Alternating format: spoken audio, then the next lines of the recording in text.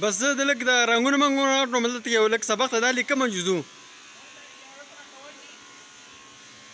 اشاره کې سیاق ګرم چیرې باندې وس کمه